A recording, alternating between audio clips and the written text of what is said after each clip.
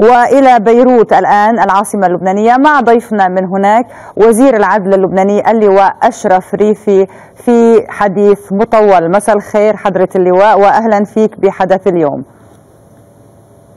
مساء الخير ستنا الله معك. أهلا فيك مع الوزير. آه مبروك إنه طرابلس هدأت. حضرتك من أهم وأبرز فعاليات الشمال ومدينة طرابلس وحضرتك أكيد آه اختصاصك الأساسي أمني وبالتالي بهمنا نعرف تماما ما الذي حصل آه الأمور. هل خرج المسلحون بممر آمن؟ الجيش اللبناني ما طبيعة الأوامر التي لديه وهل انتهت المعركة عند هذا الحد؟ مساء الخير. أنا مش من أبرز الفعاليات. أنا مواطن طرابلسي. أكيد خلفيتي أمنية مثل ما قلتي ستنا. حكما بوضع كل تجربتي بتصرف وطني وبلدي. بعتقد المرحلة كأنه هي اللغم اللي كان عم ينبت أو عم ينمى شوي شوي. خلصنا منه خلص. اليوم خلينا نكون واقعيين قدام كل اللبنانيين اليوم نحن عم نعيش تداعيات ما يحصل في المنطقة كلها سوا عم نعيش تداعيات مباشرة لواقع سوريا عم نعيش تداعيات الاحتقان السني الشيعي في المنطقة صحيح.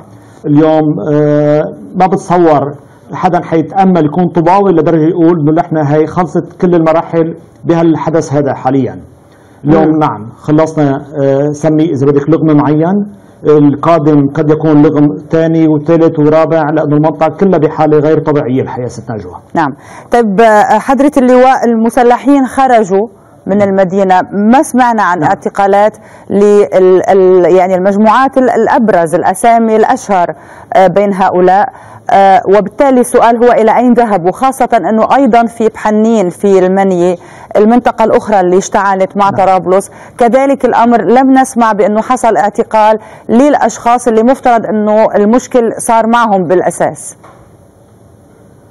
لا صار في توقيفات لم يعلن عنها. قد يكون منهم الأسماء البارزة أو الأشهر إنما في أشخاص أكيد أوقفت سواء ببحنين البني أو بطرابلس. إنما الأساسيين أكيد فروا أو هربوا أو توروا عن الأنظار. اليوم العمليات الميدانية الواقعية ما مثل الافلام الهوليودية. بالفيلم الهوليودي المخرج بده يوقف كل الناس في وقف كل الناس إنما بالواقع رجعي لكل عمليات مشابهة. ما بيصير بالأيام الأولى توقيف كل العالم. الأبرز أكيد بيكون عنده قدرة أكثر من. العناصر العاديين للتواري بتوارى بتع... بتلاحقوا المؤسسات أو الأجهزة الأمنية سواء مخابراتيا أو عسكريا إنما اليوم بتصور هاي المشكل أو هذا اللغم فكك بجزء كبير من من مكوناته يبقى متابعة أو ملاحقة من من فر مع الوزير في كثير من التحليلات الإعلامية والسياسية اللبنانية تقول عن معركة طرابلس بأنها مختلفة جذريا عن معركة عرسال بين هلالين. من ناحية طبيعة الأوامر التي أعطيت للجيش ولناحية طبيعة التغطية السياسية. أود أن أسمع ماذا تقول معاليك في هذا السياق. لا شك خلينا نفصل الأمور مثل ما هي تماما. اليوم المنطقة تعيش احتقان عالي جدا مثل ما قلنا آسف أني أقول سني شيعي. بلبنان نعم في احتقان قد يكون أقل مما هو في سوريا أو أقل مما هو في العراق إنما في واقع حكما في ناس عندها حالة قهر ناس عندها حالة تململ عندها حالة تذمر. في أماكن معينة نعم كان في صيف وشتاء على نفس السقف بلبنان. نعم. وهي كله من تداعيات الواقع السوري اللي كان عمره 30 سنة بلبنان. الناس اليوم بدها تعيش بشكل متساوي جدا مش حدا بسمنة وحدا بزيت أو مواطن بسمنة ومواطن بزيت. هذا الواقع منه مقبول نهائيا. اذا تراكمت هالأمور كلها سوا. هذا التراكم في ناس بتروح بتعالجه بعقلانية وبهدوء وبنظرة بعيدة المدى استراتيجية إنما بهدوء. في ناس طبيعتها إذا بدك حامية أكثر بتروح على عنف أكثر الحقيقة. إذا بنلاحظ المكون العددي للمجموعتين فارق كبير جدا. العقلانيين بيكونوا الأكثر عددا. الانفعاليين بشكل إذا بدك عنيف جدا بيكونوا الأقل عددا. بلبنان ما بنشوف ولا مرة عندنا مصلحة نحن إلا يكون العلاج. عقلاني بعيد المدى ولنركب دولة بكل معنى الكلمة. نعم. اليوم أنا كنت إذا عم بتشكى من احتقان معين عم بتشكى من دويلة هيمنت بمرحلة معينة على الدولة مش معناتها تكون دويلة ثانية أو ميليشيا أو مم. مجموعة مسلحة لوجهها ولا بيخرب البلد الحقيقة. نعم. الناس قد يكون في ناس مثل ما قلنا دمهم حامي بيفسروا بشكل مختلف كيف المواجهة. نحن منا مع طريق المواجهة. طريقة المواجهة هي عقلانية عبر الدولة وحكما أي شيء خارج عن طبيعة الأمور لن يبقى آه، إلى الأبد أو دائما آه، لابد ما تروح الأمور بشكل صحيح وعلى طبيعتها. نعم. يعني أي دويله سواء كانت بلبنان أو خارج لبنان لن تدوم طمن كل اللبنانيين طمن. كل الدول العربية طمن كل الناس مبدئيا إنه آه، نعم حالة الدويلة في لبنان اللي بمرحلة معينة هيمنت على الدولة بمرحلة معينة توهمت هي بدها تحكم البلد لا لن تستطيع أن تحكم البلد إلا لفترة معينة فيها تتحكم فيه لفترة معينة إنما ستزول لصالح الدولة يجب أن نكون استراتيجيين بنظرتنا يجب أن نكون عقلانيين بنظرتنا يجب أن نكون عقلانيين بالحل اللي بنشوفه لقدام. رغم ما يقوله البعض معالي الوزير بأنه آه، ما ما سميته دويلة هو أصبح اليوم جزء شرعي من الدولة.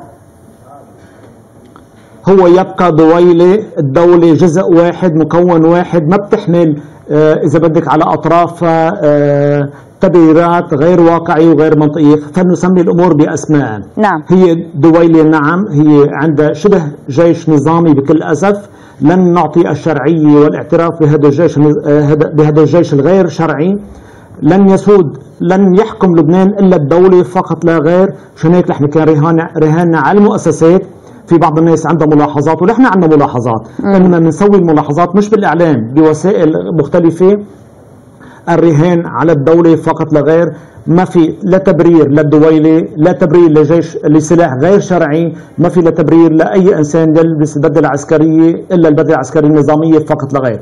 لطالما نادينا أنه أقلعوا عن التصرفات الميليشياوية أقلعوا عن الحلول محل الدولة هاي الممارسات لن تدوم طويلا. وأنا برأيي الحقيقة المقلب الثاني أو المسار الآخر في نقول لبناني بدأ برجع بعيد تماما رؤيتنا عقلانية رؤيتنا بعيدة المدى شوي صغيرة رؤيتنا الحقيقة سلوك آه، واعي وهادف نحو الدولة والدولة فقط بتخلصنا نعم أكيد الدولة بتخلص الجميع دائما مع الوزير ولكن حضرتك مع بداية معركة صحيح. طرابلس كان عندك بيان ملفت آه، بيان في نعم. آه، هذا النفس السياسي والأمني ولكن أيضا في نفس شعبي دقيق جدا وحساس آه، بنعرف أنه عم تتوجه فيه نعم. بشكل أساسي لأبناء الشمال وللشارع السني آه، وفي شرح لمعركة نعم. طرابلس لماذا بتعتقد حضرتك أنه الشارع السني والشارع الشمالي يحتاج إلى هذا الاحتواء الاجتماعي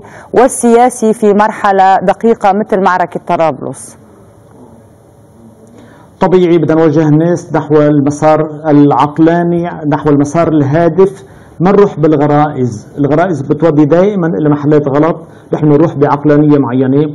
طالما عندنا ثقه تامه انه طبيعة الأمور دائما تنحو نحو إنه الطبيعة هي تسود الأمر الطبيعي بيسود. أي أمر غير طبيعي لو كان موجود بفترة معينة إننا لن يبقى طويلا. ونحن جيل عشنا تجارب عديدة حتى في لبنان. مم. سواء تجارب للبنانيين عملوا ما يشبه الدويلة أو الأمن الذاتي أو ما يشبه الدولة المدنية أو بهالمعنى الإدارة المدنية والكل زال الدويلة اللي إحنا اليوم عم نعاني منها واللي حتى شعبنا وخاصة بالشمال عم بيعاني منها فيني نطمن الكل لن يدوم طويلا الأمور بلش المقلب الثاني. آه كل بنعرف تماما. نحن كلبنانيين توافقنا على أنه تحكمنا الدولة اللبنانيه فقط لا غير، لم نتوافق على أنه الدولة الدويله الفلانية أو الدويله الفلانية أو الدويله الفلانية، ما بيحكم اللبنانيين غير الدولة اللبنانية فقط لا غير، أي شكل لدويلة لن يبرر ولن يعطى الشرعية ولن نقبل فيها مهما كلف الأمر، إنما نحن منا مع أنه نركب دويلة بش دويلة العوض سلامتك بيروح البلد، نعم. نحن نعم. من نتبنى الدولة نساند الدولة ندعم الدولة. عندنا ملاحظات على بعض المؤسسات أكيد هاي الملاحظات بنعبر عنها بقنوات معينة. ما تهشم بالمؤسسات بالعكس بدنا نصحح مسار المؤسسات. نعم. طيب معالي الوزير في فكرة آه، كررتها حضرتك مرتين وهي أنه المسار الآخر بدأ. آه، يا ريت تفصلنا أكثر بهالنقطة ماذا تعني بها؟ نعم. العد العكسي بدأ. صحيح صحيح صحيح. بنعرف الدويلة. خلينا نسمي الأمور بأسماء يا نعم. ريت. أنا أقصد المشروع الإيراني المشروع الإيراني خلينا نكون نحط النقاط على الحروف اللي هو توهم بمرحلة معينة إنه بمد إيده على بعض الدول العربية نعم بمرحلة معينة أكيد عمل نوع من الحضور بمحل معين هذا الحضور كان عنده قدرة عسكرية معينة كان عنده دعم من سوريا نظام بمرحلة معينة كان عنده إمكانيات مادية معينة. كان عنده احتضان شعبي من كل لبنانيين لأنه فات على لبنان تحت راية مقاومة العدو الإسرائيلي وتحت راية إنه بده يحرر فلسطين. اليوم بتصور هذا الدور انكشف تماما. اليوم لا شك وقت اللي هو قاتل العدو الإسرائيلي قدمنا التحيه وانحنينا قدامه وقدام شهدائه. وقت اللي ارتد السلاح على الداخل اللبناني. وقت اللي ارتد السلاح على قلب سوريا. نعم. وزج حاله بصراع إلى جانب نظام نعتبره نظام آه، جائر نظام آه، توتاليتاري نظام غير مقبول من شعبه. نعم انحرف عن مساره الطبيعي. آه، خسر احتضان أغلب اللبنانيين آه، بالعكس بدل ما يكون هو محتضن من اللبنانيين صار مكروه من اللبنانيين. هي اليوم كلنا بنعرف تماما إذا سميناها الثورة إذا لم تحتضن إذا كانت ثورة حقيقية إذا لم تحتضن من شعبها بتموت. اليوم هي ما عادت ثوره بكل أسف صارت هذا مشروع هيمن على لبنان. المشروع تدخل بقلب سوريا عسكريا مرفوض منه وبدأ بدأ يخسر كل تخطيطه أو احتواء أو آه، مناصرته الشعبية. نعم. يضاف معلش خط الإمداد قطع من بغداد إلى حمص بنعرف تماما. إذا كان في خط أمداد يجي برا كل شيء سلاح وأموال. صار في قطع لهذا الخط من بغداد إلى حمص مبدئيا. إذا من قبل داعش قطع. يضاف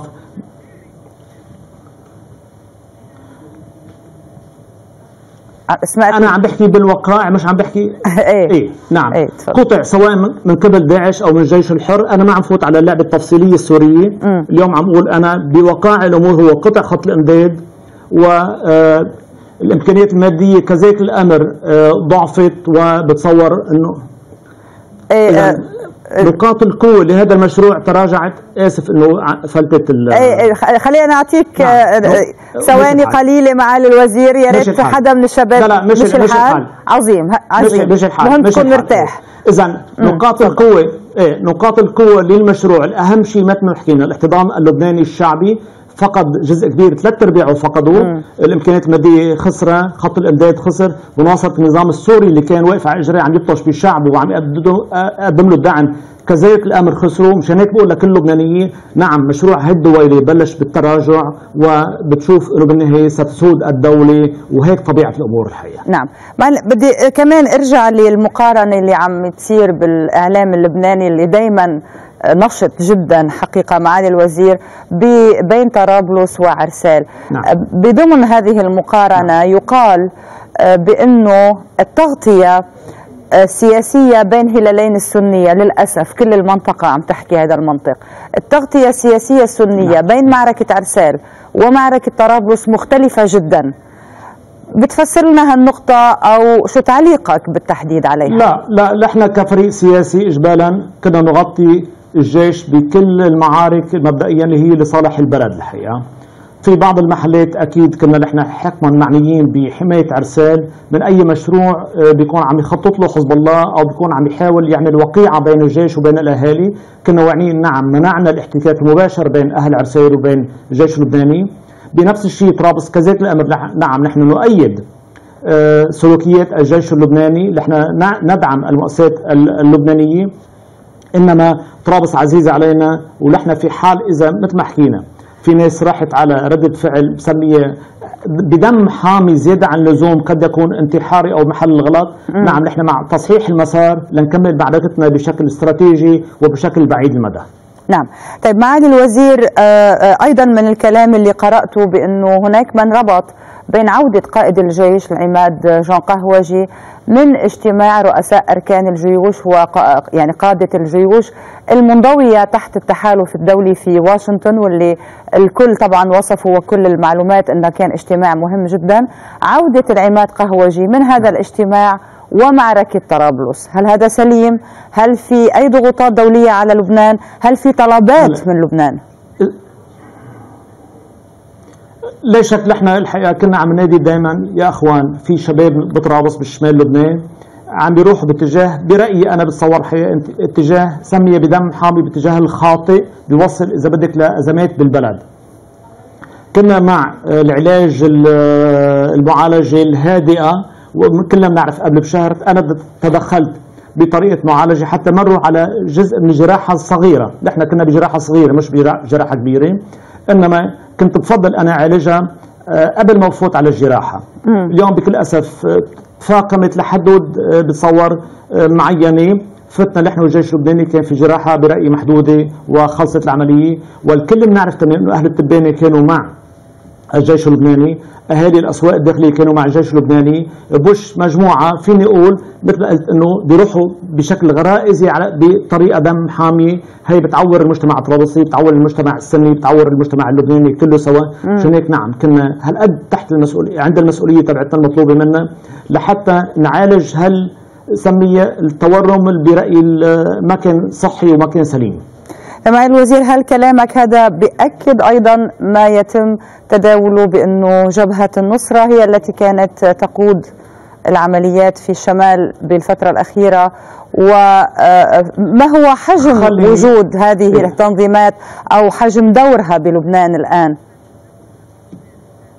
نحن اليوم بطرابلس كنا عم نشوف مجموعتين الحقيقة مش مجموعة واحدة في على أثر العملية اللي عملها الجيش اللبناني بعصوم هي مجموعة كانت لحد ما عندها نوع من الرابط مع هي داعش مش مع النصرة. واللي هي عملت ردة الفعل بالأسواق الداخلية واللي نحن وأهل الأسواق الداخلية عالجناه بساعات محدودة بدون تقريبا بدون استعمال قوة عسكرية إلا بشكل محدود جدا. ثم بعدين المجموعة الثانية اللي تحركت بقلب باب التبانة عندها ارتباط نوعا ما بالنصرة مش بداعش مبدئيا. بقت كل نهار مش متحركة. في نقول لكل الناس لكل اللبنانيين لكل الإخوان العرب هاي المجموعة كانت حوالي 30 عنصر هاي المجموعة كانت 30 عنصر وكانوا كل الأهالي بيعرفوا تماما. برغم من أنه في ناس مثل ما حكينا الدم الحامي بيبرر السلوكيات هاي أغلبية الطرابلسيين ما بيلاقوا هذا الطريق هو السليم وهو الطريق اللي بيودي لشفاء العاجل بدون ما يكون عنده تداعيات أو عنده آه تداعيات سلبية ومدمرة للمجتمع نعم مع الوزير بهالسياق هيدا طبعا بظل اللي شرحته يوميا يعني هو شغلنا هالأيام الانقسامات الحادة اللي تعيشها. المنطقة نعم. وتعيشها على وقع الدم وليس فقط الخطاب السياسي صح. الدم والدم الكثير سنة وشيعة وغير ذلك بكل أسف صح. صحيح ال ال ال في كلام آه، بلبنان من من بين طبعا دول أخرى إنه ربما الصوت السني المعتدل لم يعد له مكان كثيرا بسبب دور حزب الله في سوريا بسبب هذا المشروع الإيراني الذي يتوغل أكثر فأكثر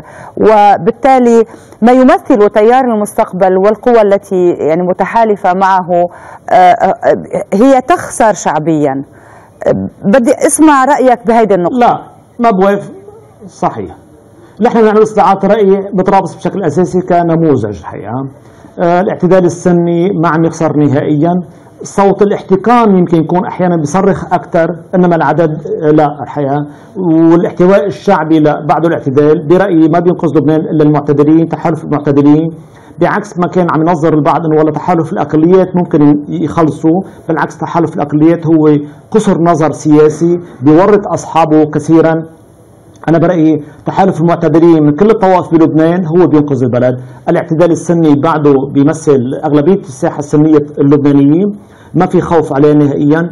نعم يمكن غبنا عنه كثير مبدئيا بس بعد كل الناس ماشي بمنحى اعتدالي. وأكبر دليل إنه امبارح الحقيقة المجموعتين اللي هن برجع بقول نتيجة الاحتكان راحوا لفس لترجموا احتكانه بشكل خاطئ أنا بتصور. ما كانوا بيمثلوا عددين إلا 30 شاب هون و30 شاب هون. آه، كان في حلقة ثانية يمكن زادوا كمان 30 أو أكثر شوي بس مش أكثر من هيك. نعم. هي بمدينة فيها 500 ألف مواطن و500 ألف عنصر. نعم كان صوتنا عالي إنما بعرف أنه الاحتكان دائما صوته أعلى من الاعتدال. طيب مع نهاية هذه المعركة آه، آه، معالي الوزير؟ ويعني حضور أكبر لهذه التسميات لبنانيا داعش والنصرة. إلى أي مدى في تخوف من أنه لبنان دخل هذه الدوامة؟ خلاص آه، هذه التنظيمات أصبحت موجودة في لبنان في هذه المنطقة أو تلك ولبنان يجب أن يعيش على وقع عمليات بأي لحظة. لا شك برجع بأكد لكل الناس. خلينا نكون واقعيين ما بدنا نغش العالم. في بركان حدنا هذا البركان حكما عنده تداعيات على الساحة اللبنانية إنما برأيي تداعيات محدودة وضمن قدرة اللبنانيين على السيطرة عليها. برجع أنا اعتمدت آه، نوع من الصور آه، صورت إنه الواقع ال- آه، الواقع بسوريا. كأنه بركان على حدودنا المباشره بلش يقذف حمم والبركان كلنا بنعرف بيقذف سيل وبيقذف حمم نحن الحمد لله السيل ما رح يجي لعنا لأنه نوعا ما آه، عندنا نوع من المناعة وخلينا نسمي الأمور باسماء في نوع من الحماية أو نوع من القرار الإقليمي الدولي مع أها. قرار الأطراف الداخليين إنه بالنهاية ما بدنا آه، البلد يفلت أو البلد يتدمر اللي عم بيصير نعم في بعض الحمم عم تجي لعنا على لبنان مثل ما شفنا بطرابلس مثل ما شفنا بعض الأماكن الأخرى ببريتيل أو بعرسال إنما برأيي كل الحوادث اللي عم بتصير ضمن قدرة المجتمع اللبناني والمؤسسات الأمنية الرسمية اللبنانية على السيطره عليها وعلى أطفائها.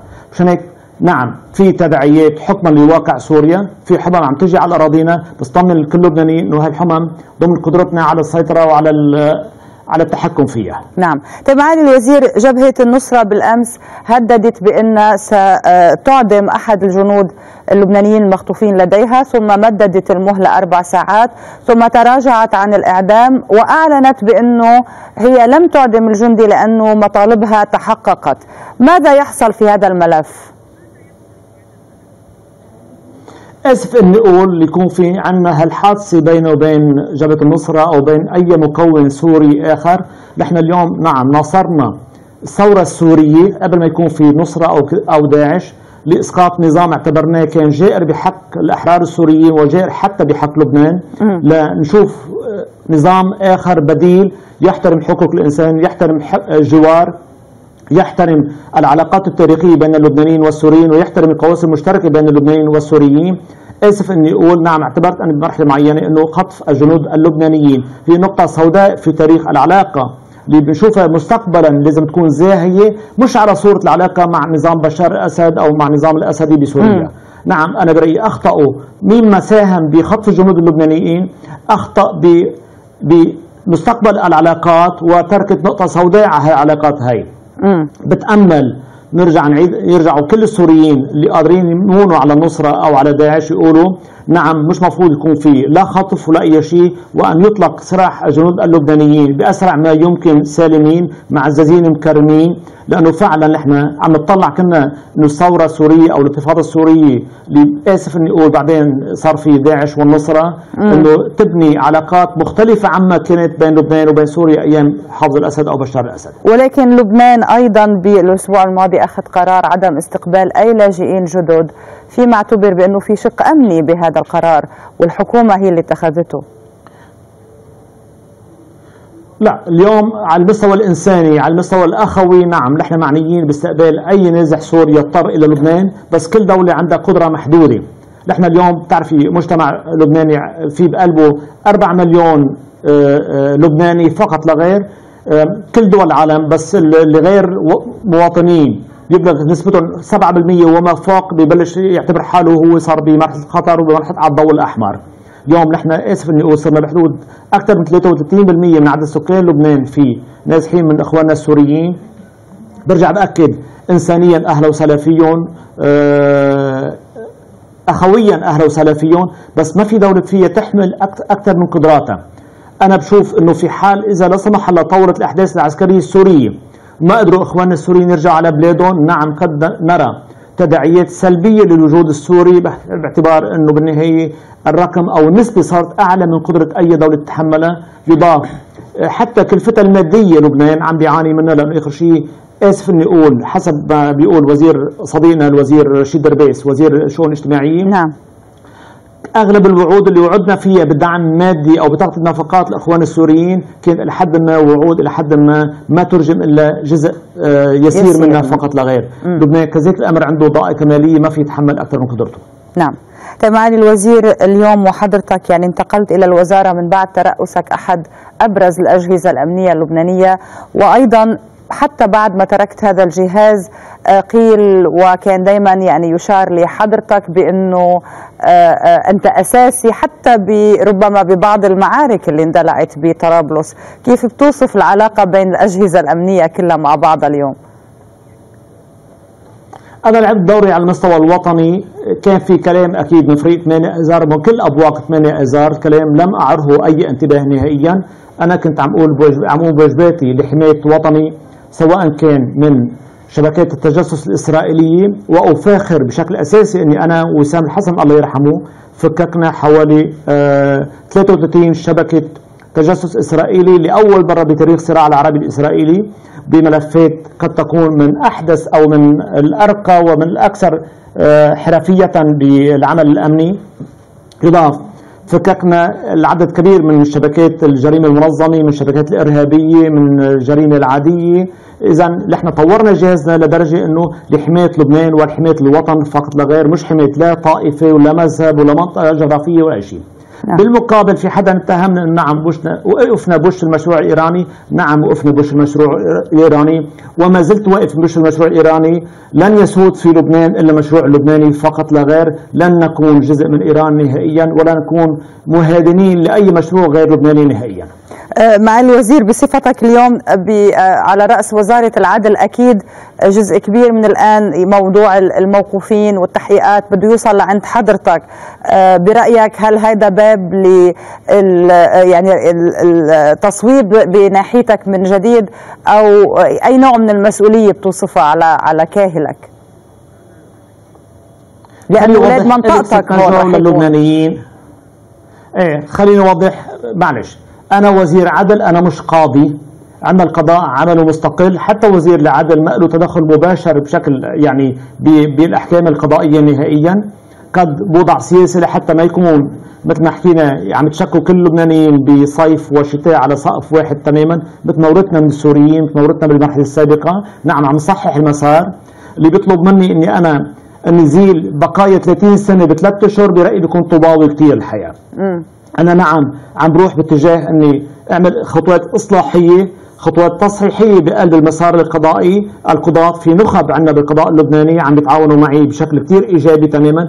إنما في تركي موروثه ب 30 سنة ما حدا بينتظر بثلاث أشهر بزيرة يمكن بده بدها سنتين أو بدها ثلاث سنين على الأقل الحقيقة. إنما بلشنا بتصحيح المسار بشكل عقلاني بشكل موضوعي.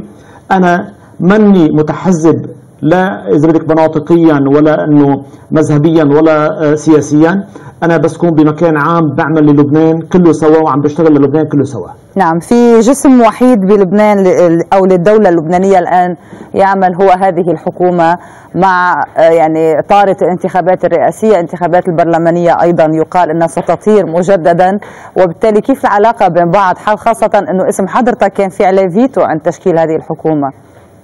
من طرف معين طبعا. صحيح في حدا اعتبر حاله من ضمن يعني كأنه بعده وصي على لبنان حط فيتو علي على وزاره الداخلية أكيد الحقيقة. وأنا أصريت إذا ما كنت وزارة أه لحد ما كريمة بين هلالين مبدئيا أكيد مني مني وزير ولا مقاتل للوزارة.